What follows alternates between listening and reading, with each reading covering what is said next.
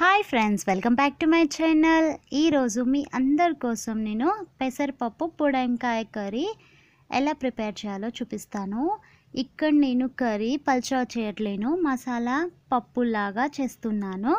నా నెక్స్ట్ వీడియోలో నేను బుడంకాయ పెసరపప్పు పల్చగా చూపిస్తాను. కానీ ఇక్కడ నేను మసాలా పప్పు టైప్గా చేశాను ఫ్రెండ్స్. ఇలా కూడా ప్రిపేర్ చేసేసుకోండి చాలా బాగుంటుంది ఫ్రెండ్స్. ఏమేమి కావాలో చూసుకుందాం ఈ కర్రీకి. ఫస్ట్ నేను ఇక్కడ బుడంకాయలు ఫ్రెష్ వాటర్తో వాష్ చేసేసుకొని సైడ్కి పెట్టేసుకున్నాను. ఇవి చేదు ఉంటాయి ఫ్రెండ్స్ ఫస్ట్ టేస్ట్ చూసి కట్ చేయండి పీసెస్గా ఇక్కడ నేను అన్ని పీసెస్ కట్ చేసుకొని పెట్టేసుకున్నాను. టమాటోస్ ఒక త్రీ టమాటోస్ తీసుకున్నాను. కర్రీ లీవ్స్ బుడంకాయలు స్మాల్ పీసెస్గా కట్ చేసుకున్నాను. చేదు లేకుండా చూసుకోండి లేకపోతే కర్రీ పాడైపోతుంది. చేదు ఉంటే మనకి కర్రీ తినబుద్ధి కాదు. గ్రీన్ చిల్లీస్ స్మాల్ పీస్గా కట్ చేసుకున్నాను. ఇక్కడ వన్ ఆనియన్ తీసుకొని స్మాల్ పీసెస్గా కట్ చేసుకొని పెట్టేసుకున్నాను. ఫ్రెండ్స్ ఇప్పుడు గ్యాస్ ఆన్ చేసి ఒక కడాయి పెట్టేసి అందులో two and half tablespoon oil వేసాను. ఈ ఆయిల్ హీట్ అయ్యే వరకు మనము వన్ కప్ ఆఫ్ పెసరపప్పుని తీసుకోవాలి. పెసరపప్పులో చెత్త లేకుండా చూసుకోవాలి. నేను కరెక్ట్లీగా ఏరుకొని పెట్టేసుకున్నాను చూడండి ఇక్కడ.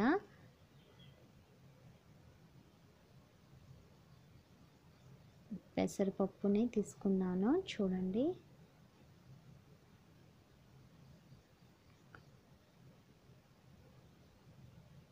పిల్లలకు కూడా హెల్త్కి చాలా మంచిది.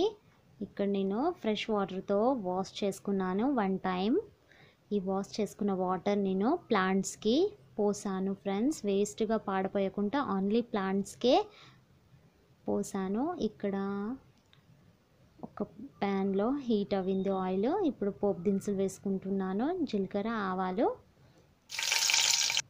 నెక్స్ట్ నేను ఇక్కడ ఫ్రై అయిన తర్వాతకి గ్రీన్ చిల్లీస్ వేసాను. ఇవి కూడా గోల్డెన్ కలర్లో వచ్చే వరకు ఫ్రై చేసుకోవాలి. ఇప్పుడు ఫ్రై అవినాయి కాబట్టి ఇప్పుడు ఆనియన్స్ వేసుకుంటున్నాను.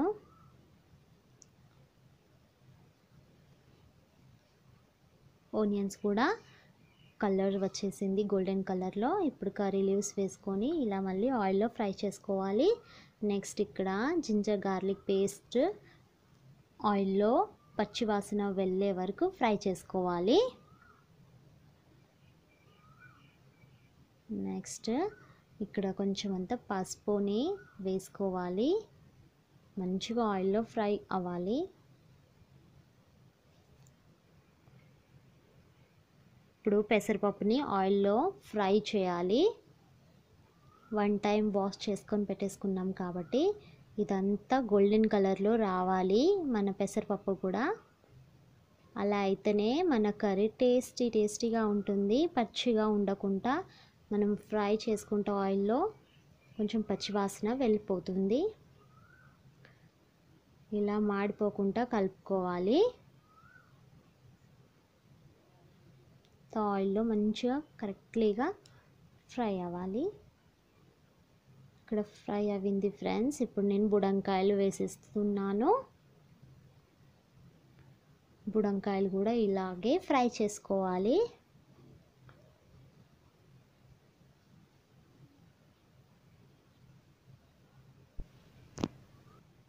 చూడండి మళ్ళీ కలుపుకుంటున్నాను.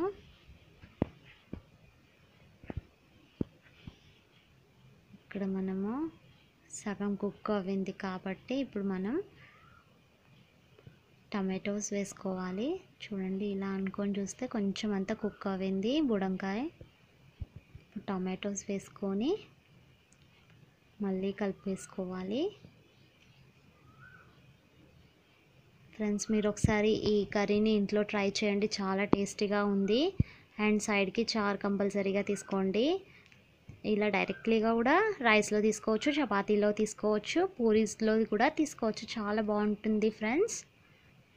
ఇక్కడ క్యాప్ పెట్టేసుకుంటున్నాను. ఇది మంచిగా అంత కుక్ అవ్వడానికి పెసరపప్పు బుడంకాయ అండ్ టమాటో కొంతసేపు అయినాక మళ్ళీ క్యాప్ తీసి మళ్ళీ ఇలా ఒకసారి ఫ్రై చేసుకోవాలి.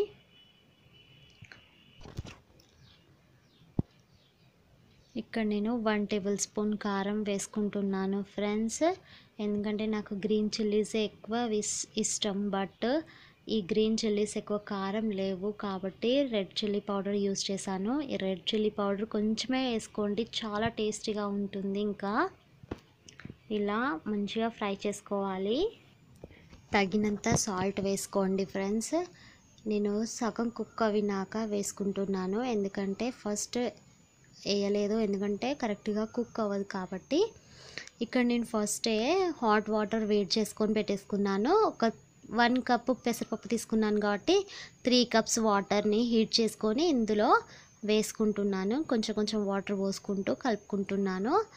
ఎందుకంటే ఈ పెసరపప్పు తొందరగా ఉడకడానికి నేను హాట్ వాటర్నే యూస్ చేశాను ఫ్రెండ్స్. ఇలా కరెక్ట్గా కలిపేసి మళ్ళీ కొంచెం సేపు కుక్ అవ్వడానికి క్యాప్ పెట్టేసుకోండి ఫ్రెండ్స్.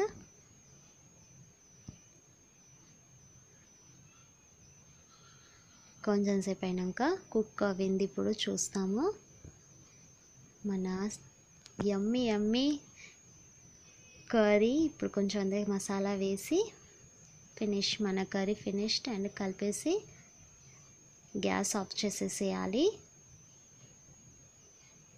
చూడండి ఎంత బాగుంది కదా కర్రీ.